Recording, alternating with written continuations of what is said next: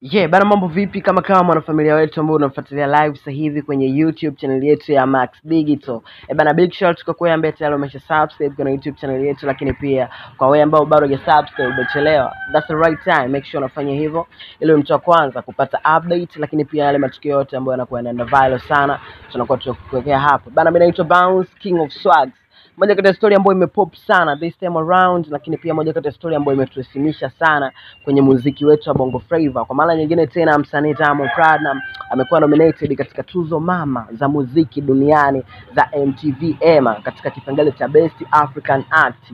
E bana, hii imekuwa ni kwa mara nyingine tena kama nilivyokwambia, kwa sababu mwaka jana pia elfu mbili na ishirini na tatu alikuwa nominated na baadaye akaibuka mshindi. Sasa hii inaleta listi na Diamond anakuwa msanii pekee kutoka Tanzania ambaye amekuwa nominated mara nyingi sana kwenye tuzo hizi za MTV EMA kuliko msanii yoyote yule kutoka East Africa, lakini pia kutoka nchini Tanzania. Sasa nataka nikupe list ya wasanii ambao washawahi kuwania tuzo hizi za MTV EMA. Tukianza kwa mara ya kwanza kabisa elfu mbili na sita msanii kutoka Tanzania alikuwa ni Juma Nature ambao aliingia katika kipengele cha Best African Act elfu mbili kumi na sita alikuwa nominated tu, lakini hakuibuka mshindi. Lakini pia mwaka elfu mbili kumi na tano kwa mara ya pili Diamond Platnumz aliingia kwenye kipengele uh, kwenye alikuwa nominated katika tuzo hizi za MTV EMA katika kipengele cha Best African Act, lakini pia kipengele chengine kilikuwa ni Best Worldwide Africa India elfu mbili kumi na tano hiyo na baadaye akaibuka mshindi katika vipengele vyote viwili. Na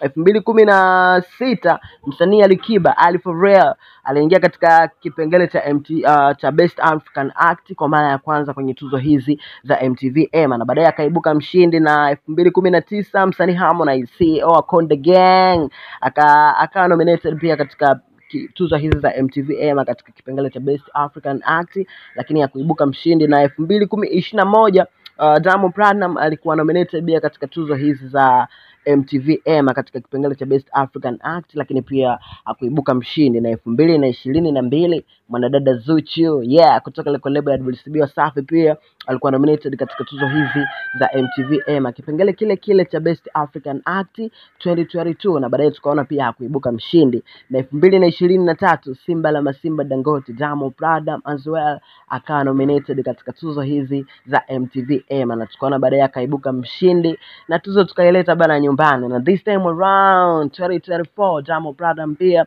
amekuwa nominated katika tuzo za MTV EMA, so unatakiwa kukifanya tu. Uh, waandaji wa tuzo tayari washaweka namna ya kuvote, namna ya kuwachagua uh, hawa nominees katika tuzo hizi za MTV EMA. Tumeona Diamond anawania vikali sana na nguli wale wasanii wakubwa sana wa muziki wa Afrobeat kutoka nchini uh, Nigeria pale, lakini pia wasanii kutoka South Africa as well, akiwemo Tyla, lakini pia akiwemo uh, Tito Myupi yule pale DBN yeah, kutoka Afrika Kusini, lakini pia uh, kwa Nigeria you yupo Asake pamoja na Ayla Star. Yeah, bana hii ni Max Digital. Tutakuwa tutakupa update zote kuhusiana na namna watu wanavyovote, lakini pia the way watu wanavyokuwa um, uh, categorize katika tuzo hizi. So jukumu lako ni moja tu, hakisha una subscribe, lakini pia una turn on notification ili uweze kuwa updates kila time. Mimi naitwa Bounce, ingia Instagram hapo search bounce underscore tz, utakuwa umetisha sana. See you next time.